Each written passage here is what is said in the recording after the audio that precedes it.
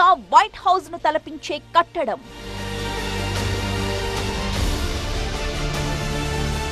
తెలంగాణ రాష్ట్ర కొత్త పరిపాలనా భవనం ప్రారంభోత్సవానికి సిద్ధమవుతోంది.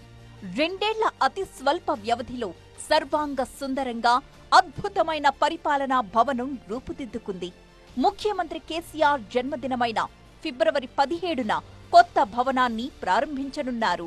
దేశంలోని అతి ఎత్తైన కట్టడాల్లో ఒకటిగా నిలుస్తున్న ఈ సెక్రటేరియట్ భవనానికి సంబంధించిన ఫోటోస్ని టీవీ నైన్ ప్రత్యేకంగా సేకరించింది.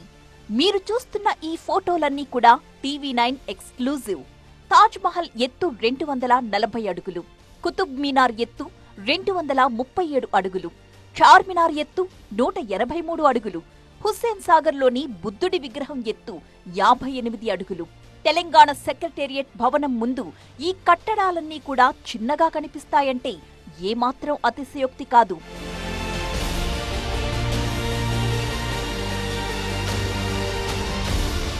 తెలంగాణ సెక్రటేరియట్ మొత్తం విస్తీర్ణం ఇరవై ఎనిమిది ఎకరాలైతే అందులో పది లక్షల యాభై ఒక్క వేల ఆరు వందల డెబ్బై ఆరు చదరపు అడుగుల్లో భవనాన్ని నిర్మించారు.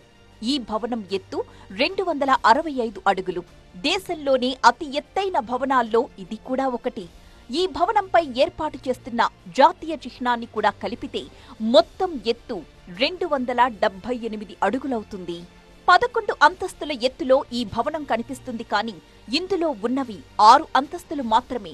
డెక్కన్ కాకతీయ శైలిలో నిర్మించిన ఈ భవనానికి రెండు ప్రధాన గుమ్మటాలు ముప్పై నాలుగు చిన్న గుమ్మటాలు ప్రత్యేక ఆకర్షణ.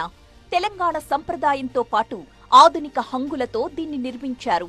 ఈ పరిపాలనా సౌధానికి రాజ్యాంగ నిర్మాత డాక్టర్ భీమ్రావ్ రామ్జీ అంబేద్కర్ పేరు పెట్టాలని గతేడాది సెప్టెంబర్లోనే నిర్ణయించారు.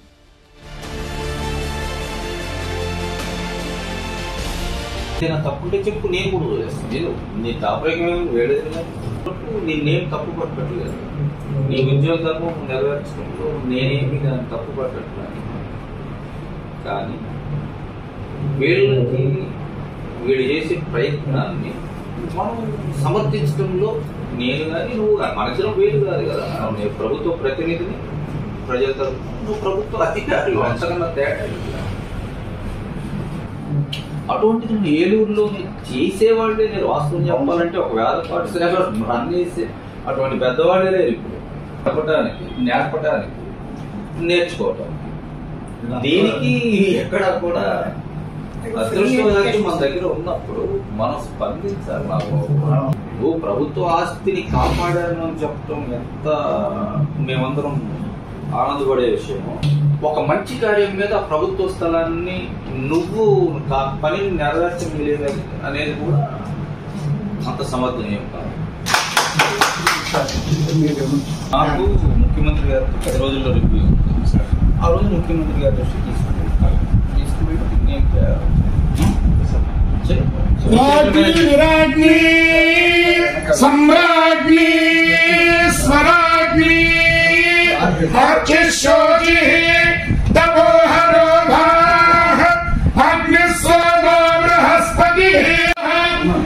सर्वे सङ्गत्य इदं मे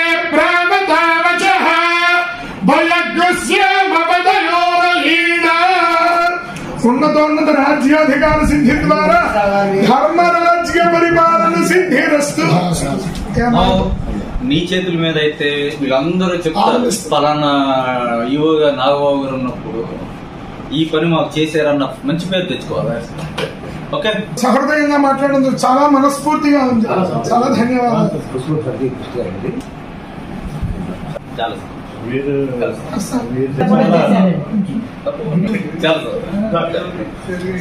ఆగిపోయాను సార్ టూ ఇయర్స్ అయిపోయింది పెండింగ్ అయిపోయింది కాంట్రాక్టర్ కూడా ఇంక వర్క్ వదిలేశారు సార్ అంటే వర్క్ లాస్ మన లక్కీ ఏంటంటే అప్పుడు ఆరు లక్షలు ఇవ్వాలి సార్ ఆ ఫైల్ కూడా నేనే తిరిగి తీసుకొచ్చండి ఆరు లక్షలు అది మనం లేకపోతే యాక్చువల్గా కూడా కంప్లీట్ అవ్వదు సార్ అంత కష్టం చూడండి. అప్పుడు మనం అది చూస్తే సార్ ఇప్పుడు ఇది ఏమన్నా అంటే మనం రెండు వేల ఇరవై ఒకటిలో ఇప్పుడు ఈ సైట్ డిపార్ట్మెంట్ ఏం చేసిందంటే పాఠశాల బాగుండేది కదా సార్ రేగుల షెడ్ అలా ఉండేది. సార్ అరవై లక్షల రూపాయలు పెట్టి ఎండోమెంట్స్లో సీజ్ ఆఫ్ డబ్ల్యూ నలభై లక్షలు. ఎప్పటికప్పుడు లీడ్ చేసుకోవాలని చూస్తున్నా సార్. నేను దానికి ఉద్యోగిగా నేను కాకుండా ఇటువైపు కూడా ఆలోచించాల్సిన అవసరం అవును సార్. ప్రభుత్వ భూముల్ని కాపాడాల్సిన బాధ్యత నీకెంత ఉందో నీకు నా సహకారం కావాల్సిన అవసరం కూడా అంతే. కానీ ఇది ఎవరో కూడా వాడు ఇల్లు కట్టుకోవడానికి కాదు. వాళ్ళు ఏదో షాపులు కట్టుకోవడానికి కాదు. వాడు దాని మీద రూపాయి ఆశించి ఎవరు కూడా వాడు ఖర్చు చేయట్లేదు. వాళ్ళ స్వప్రయోజనాలకు వాడుకోవట్లేదు. వాళ్ళే వాళ్ళు వేద పాఠశాలను సంస్కృత పాఠశాలను నడపటానికి ఉన్న అకామిడేషన్ సరిపోక ఉన్న బిల్డింగ్ సరిపోక దాన్ని ఏదో మా అటువంటి పెద్దలు ఎవరు తలకు పది రూపాయలు వేసి దాన్ని ఇంకా డెవలప్ చేయాలి అన్న ఆలోచనతో. పది ఎకరాలు కబ్జా చేయడం ఈ సబ్జెక్ట్ సపరేట్గా చూడాలి ఆ రోజు నేను కబ్జా చేసేవాడిని నన్ను తీసుకొస్తే ఆ రోజు నువ్వేలా కాపాడగలుగుతాను అవును సార్. నేనే సార్. నుంచి ఒక వాళ్ళ దగ్గర ప్రతినిధి వచ్చి దాన్ని అంతా పర్యవేక్షిస్తూ ఉన్నప్పుడు దాన్ని గౌరవంగా కాపాడాలి. ఆ అవకాశాన్ని ఈ చుట్టుపక్కల పరిసర ప్రాంతాల్లో వేదాలని కనుమరుగు అయిపోతున్న సంస్కృత భాషని మళ్ళీ మనం తేవడానికి వాళ్ళు చేసిన ప్రయత్నాన్ని సమర్థించాలి. ప్రభుత్వం అయినా సమర్థించాల్సిందే మేమైనా సమర్థించాల్సిందే. కాదు వీళ్ళు చేసే ప్రయత్నంలో ముందుకు వెళ్ళే విధానంలో ఏదైనా తొందరపాటు ఉంటే ఉండొచ్చు కానీ వాళ్ళ ఆలోచనలు ఇది తప్పు ఉందని చెప్పి నువ్వు వెళ్ళిపో మళ్ళీ నిన్ను పిలవను. చెప్పు. ఆ విధానంలో తప్పు ఉందని నేను కూడా చెప్పాను. ఇందులో తొందరపాటు ఏదో గోల్ షెడ్ వేయాలనో ఆ ఒక్కటి తప్ప వాళ్ళ ఆలోచనలో ఇంకేదైనా తప్పుంటే చెప్పు నేను కూడా వదిలేస్తాను నేను నీ తాపరికం వేడే नर शरीर अनमोल रे प्राणी प्रभु कृपा से पाया है झूठे जग प्रपंच में पढ़कर क्यों प्रभु को बिसराया है समय हाथ से निकल गया तो सिर धुन धुन पछताएगा। निर्मल मन के दर्पण में वह राम के दर्शन पाएगा। राम नाम के साबुन से जो मन का मैल छुड़ाएगा।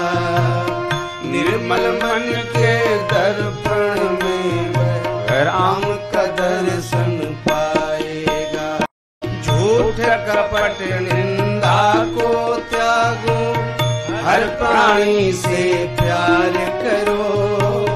घर पर आए अतिथि कोई तो यथा शक्ति सत्कार करो। क्यों?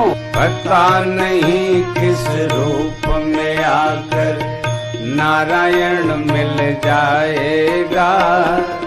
निर्मल मन के दर्पण में राम के दर्शन पाएगा राम नाम के साबुन से जो मन का मैल छुड़ाएगा निर्मल मन के दर्पण में वह राम का दर्शन पाएगा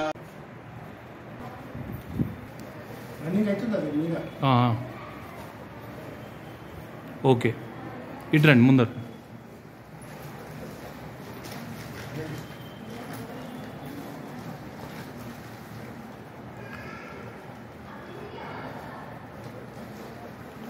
రండి మేడం. ఇటు వచ్చేయండి కొంతమంది ఎవరు కావాలంటే. ఇటు ఇద్దరు రండి. సార్ ఇటు రండి.